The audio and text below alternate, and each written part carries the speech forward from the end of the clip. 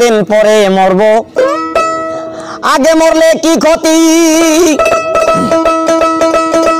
আরে এই দুনিয়ার তাল বাহানা বুঝলাম না, এক রতি।